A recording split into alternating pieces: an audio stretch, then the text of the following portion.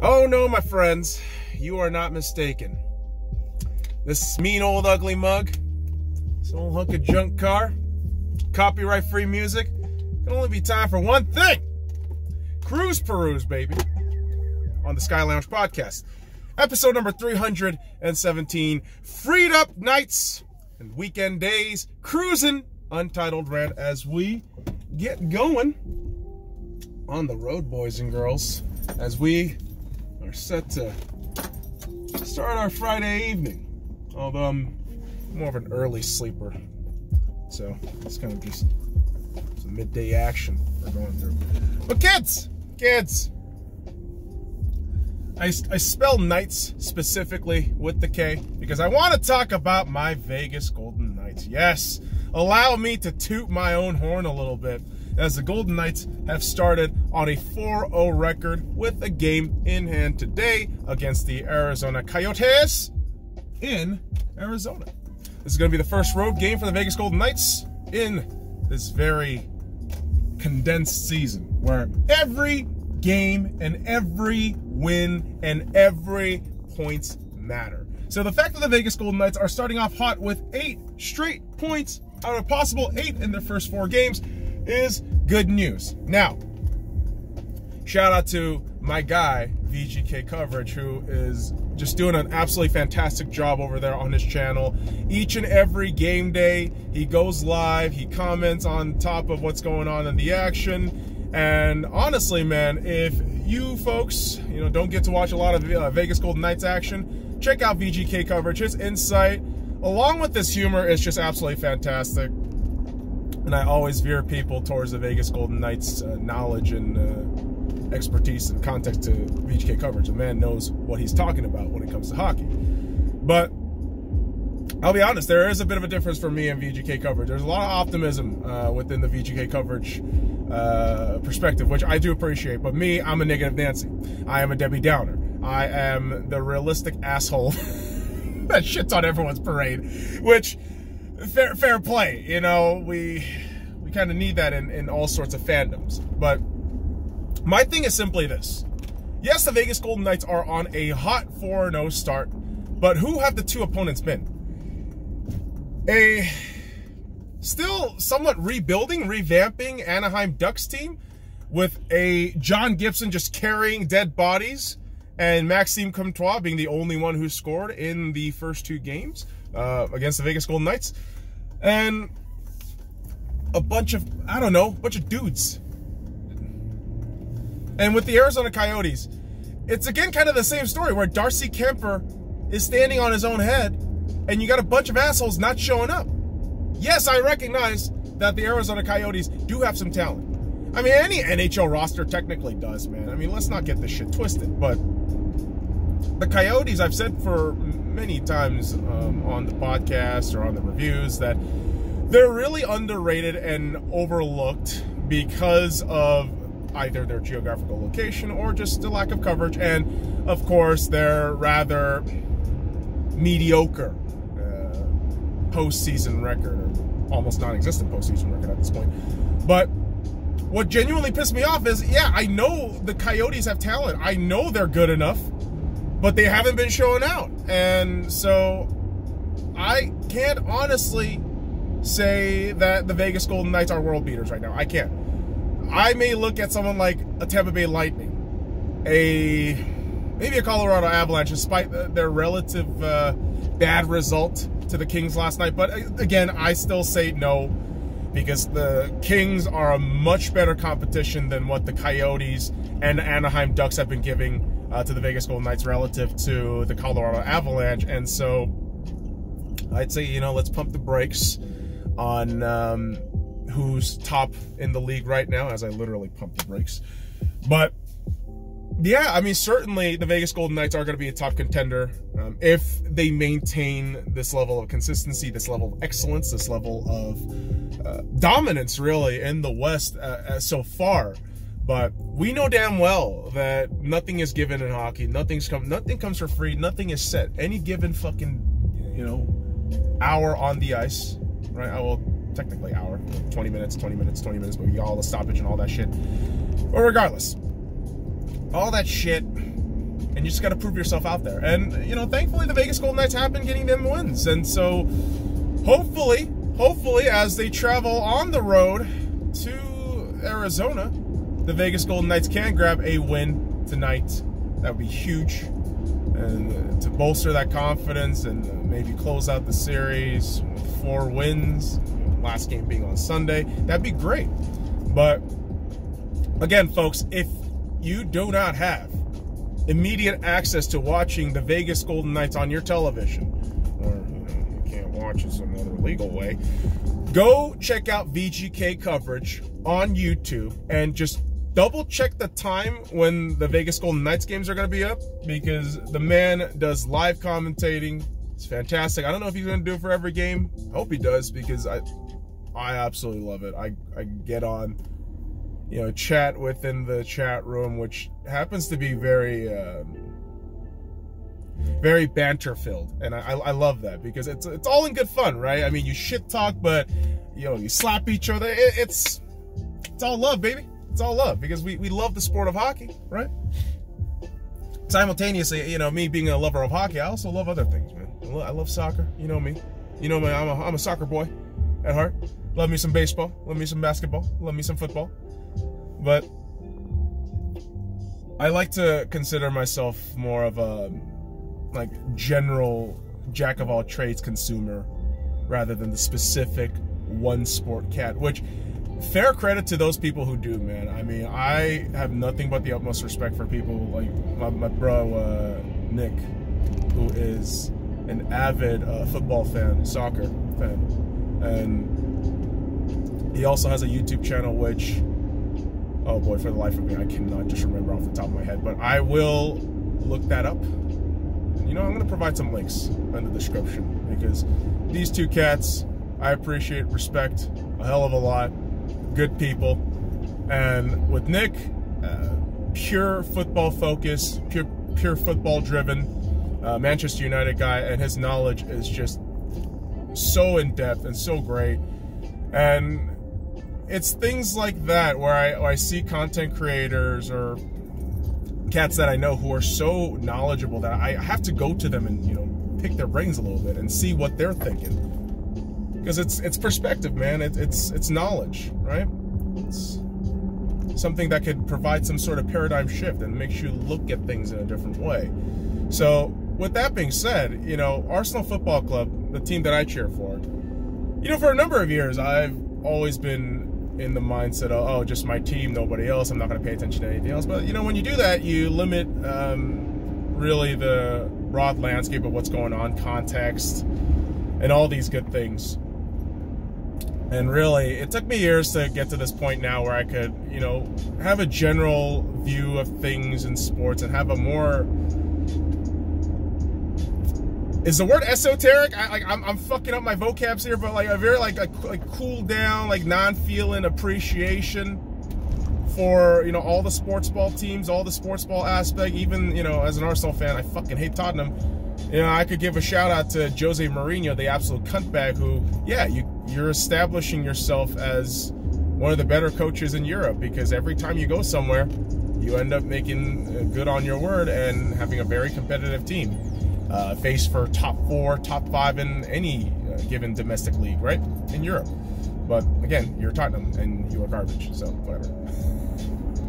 But with all that said, with all that uh, tolerance, so to speak, Arsenal Football Club, my football club, has made some moves. Yes, they've made some moves. And in an effort to try to understand the move, right, where Arsenal Football Club went ahead and signed two loanies. Well, one of them, it's not official, in Martin Odegaard, right? And we'll talk about him in a little bit. But Arsenal goes ahead and sign uh, loanee Matt Ryan, goalkeeper of Brighton and Hove Albion, Australian, who has been with the uh, Brighton Hove Albion squad for quite some time. I haven't looked at the stats specifically, but I would imagine he's been there for a while because I do recall his name popping up a couple of times, you know, match days or FA Cups. So really cool to see this cat's interview talking about, oh, you know, when I was a kid in the school days in Australia, I used to get up at 4 a.m. and watch, you know, watch football. And immediately, you know, as a fan in America, you know, watching Premier League matches and um, you know in the bar in wee wee hours of the morning at like four, six a.m. I could totally relate. And I look at the kid like, all right, Matt Ryan, I can respect what you're saying. And it's another thing where I, I can understand that maybe Arsenal didn't have too much confidence in our backup goalkeeper, who we just recently acquired over the summer, and Runarsson. And, you know, 24, 25 year old kid maybe have a hard time adjusting to the Premier League, especially with goalies. I mean, they can take forever. I mean, look at Emi Martinez. It took him a while to just explode like that. But I think you know, thinking about it in hindsight, I mean, initially when the move was announced, I was kind of perplexed. Like, why did you bring another goalkeeper? You we already got Runarsson. But yeah, if you don't need um, Runarsson to just be up there, you know, straight up where you put insurmountable pressure on him in, in cup matches or in Europe, you know, it could fuck you. So in that sense, I think Matt Ryan coming in is good. I'm pretty sure he's going to be used in the Europa League more than the Premier League capacity. And, you know, this being a loan signing, I'm hoping it turns into a cheap, affordable deal over the summer if he can gel well with the squad. And you're going to see a lot of interesting. Um, roster dynamics with Arsenal Football Club over the next few months. And I think Martin Odegaard is definitely a sign of interesting things to come. Because if if we recall, boys and girls, in the realm of football, Martin Odegaard a couple of years ago was this Wunder kid coming out of uh, Norway, if I'm not mistaken, right? Is he Norwegian? I think he is. And the skills and and the fucking the ball handling by this kid was absolutely phenomenal, but he just kind of petered out. You know, loan spells out of Real Madrid and, you know, the hyping down of the kid, it, it just never felt as though he was going to reach the highs of highs, right? But here we are. A couple of years later, when I was super jealous of uh, Real Madrid signing up Martin Odegaard, Arsenal may be in contention, or reportedly have already, you know, signed him as a loanee and all I can say is awesome. Awesome uh, to test out your midfield. And when you know damn well that Dani Ceballos is probably not going to be back after his loan deal this year, it's good to have options. It's good to see younger prospects come in and maybe try a little plug and play kind of deal.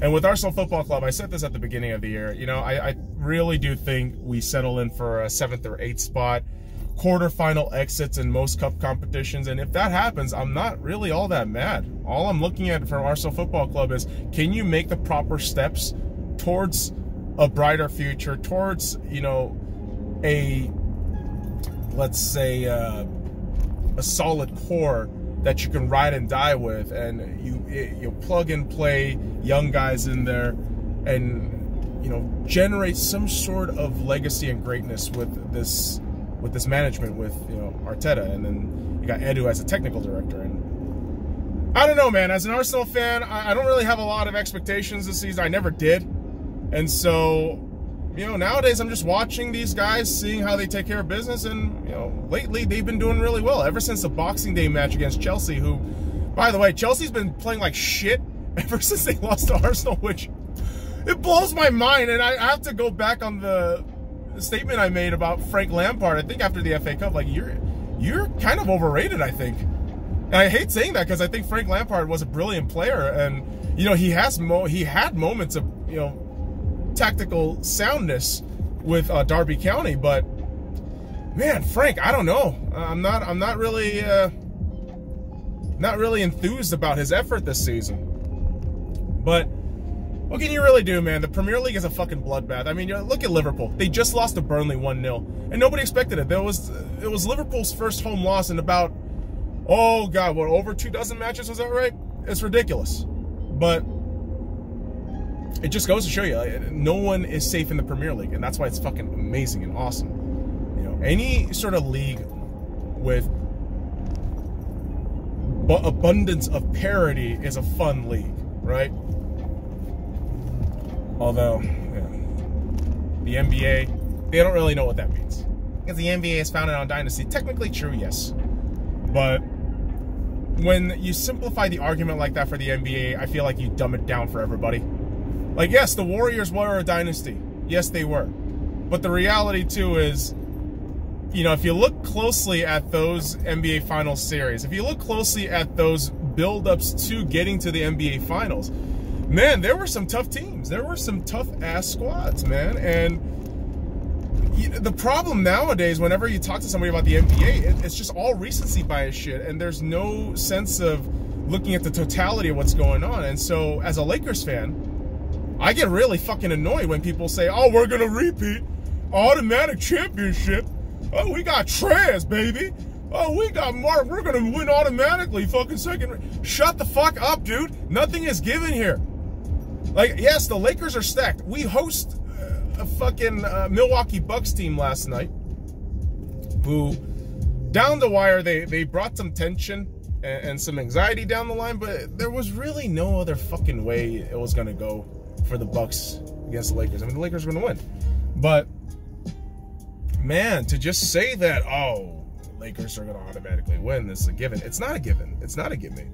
The Lakers have looking been looking really shaky, even with the 12-4 record. I look at the Golden State uh, Warriors game on Martin Luther King Day uh, for the uh, for the Los Angeles Lakers, and I think, dude, you really need to address that fucking problem right there. Your last minute tactical situation, uh, like scenarios, it, it's absolute dog shit. Now I'm looking at Frank Vogel. I'm looking at uh, uh, Hollins. I'm looking at fucking uh, Kidd, right? I'm looking at the staff and maybe looking at a guy like LeBron James and saying to myself, how have none of you understood that there is a fucking timeout and you don't understand how to fucking manage time and you're professionals? What the fuck is going on? These are the little things that you have to work on, man. That's how you create habits of excellence. And through that, you create chemistry, you create the culture, and then boom, you face the best of the best, try to win, and that grind leads you to a championship. Am I oversimplifying it? Perhaps, perhaps I am. But damn it all, it's sports. You can't get arrogant. You can't get complacent. You know what happens when you do that? You become the fucking Clippers. You become the fucking Brooklyn Nets. Oh, but they've been. I don't want to hear shit about the Brooklyn Nets right now, man. Because I've been overhearing this from everybody. Oh, they're going to win. They're going to win. How are they going to win when they can't even beat Colin Sexton, bro? Fuck out of here. Shout out to my man Colin Sexton. And I doubted the Cavs and Colin Sexton. I did. I'm not going to lie to you. You can look back at the tapes. There's so many fucking videos I talk about the NBA, and I doubt the Cavs whenever I do talk about them. But, ooh wee. The Cavs got a nice young core. They did trade out Kevin Porter Jr. to the Houston Rockets. Of course, he was a bit of a headache. But the Cavs, man, teams that are low-key good but won't get enough attention unless some magical thing happens, like they beat the big three. Utter nonsense. And this is why mainstream NBA coverage is garbage. It's fucking trash. Just go watch individual games. And you know, I'm, I'm gonna plug everybody I, I I watch personally because I feel as though majority of these people either experts or uh, specific tribe folks, but they're honest. They're honest motherfuckers, right? I don't know what they're actual motherfuckers because that, that'd be slander kids. don't be fucking with that shit. But uh, a funky diabetic on YouTube is a phenomenal uh, NBA coverage guy. The dude knows what he's talking about for most NBA squads, and he even admits when he doesn't know something. He's a Boston Celtics fan, and the guy tries to talk about everything and anything that's major going on in the NBA, uh, trends as some teams do well and some teams do poorly, and you know, as somebody who just consumes YouTube nonstop, as I've, I've made it very clear, boys and girls, I cancel all my streaming services except YouTube, and even VRV, I cancel that shit too. But it's because of that, like I can just focus on you know sports ball shit, which There's so many good choices on YouTube. There's so many quality content creators if you just look out for them. Don't just settle for the mainstream shit, man. It's garbage. It's mostly garbage. Even though the next thing I'm, I'm about to talk about is it's technically mainstream, but is it really? Is it really? And of course, I'm talking about UFC. And UFC 257 being an absolute, I don't know, uh, like blockbuster, perhaps? You got Poirier and uh, Poirier. If I'm you know, mistakenly calling that name, I apologize, but you know I'm, I'm a dum dum. You got King Conor, Lord McGregor, back in the octagon, and boys and girls, I can't wait. I got my CMG shirt ready for tomorrow, and you know my betting buddies are saying, oh, Conor's gonna get that knockout in the first round. Oh man, I'm excited to see that. And for me, being a complete UFC newbie, and I will fully admit to that, I'm a fucking newbie when it comes to it. Conor has a different vibe to him this time around. The way he's presenting himself, the way he's approaching the stage, the way he's talking, and the, the look in his eyes, very different from Conor maybe two, three years ago. Maybe it's the humility factor. Maybe it's the fact of all this shit happening last year. Maybe it's the fact of, you know, the man in Khabib who really put the number on him, you know, having his whole scenario, which I mean, I you know, with Khabib, as a Conor uh, McGregor fan, of course, you know, you're butthurt about the fucking loss, but the, the reality too is like Khabib lost his father, I believe, last year, if I'm not mistaken. And it's just been turmoil for the lad, and he gets the win last year and gets out on a high I couldn't be happier for the guy. I mean, he might come back. Who the hell knows? That's kind of the nature with UFC. Uh, fighters wanting to come back, and they do. Age, uh, hell with age. I mean, they usually do sometimes. But I think all of these things influence how Conor presents himself. And to me, again, as a complete newbie, to me, Conor just has this next level vibe. Like he, it's like my brother said, he has Super Saiyan Blue vibes. And if you don't know what the fuck we're talking about here, it's Dragon Ball Super. And I, yes, there is more than Dragon Ball Z. There's more than Dragon Ball. There's Dragon Ball Super. There's Dragon Ball GT. There's all this crap. But uh, Super Saiyan Blue is one of the more powerful Super Saiyan transformations that you get in the Dragon Ball series. And yeah, Conor just has that transformation vibe to him right now. And it's kind of awesome. And I can't wait to see it in action. Because I think, honestly, Man, that first round knockout seems pretty reasonable. I mean, with the way the guy has been developing and the way the guy looks, I don't know. And a lot of my uh, UFC experts, the cats who watch this, who worship the sport, and I respect to them, they're saying kind of the same thing that Conor is in a different tier right now in terms of energy and vibe. And I think he can ride that to a hopefully dominant win tomorrow. I'd love to see that as a Conor fan, of course hey, should be good. UFC 257, my boys and girls. But what isn't so good is, you know, a passing of a legend. Right? So Hank Aaron passes away today in a month where, man, baseball legends are just leaving this realm, man. It's crazy. Hank Aaron, Tommy Lasorda, Don Sutton. I mean, Jesus, man. It's a bummer. Tank Aaron, even as a baseball newbie, but you know, super nerd of the fucking Futurama series, I can I can appreciate Hank Aaron. I can appreciate you know the precedence and you know the greatness that he set up in baseball. And you can argue that absolutely. You got all these you young cats, whether it be in the 80s, 90s, 2000, 2010s, or now, you know, they look up to Hank Aaron. They looked up to him, still look up to him, and find inspiration. Because greatness knows no name. But it does. I mean, it does. I mean, it, what am I fucking saying?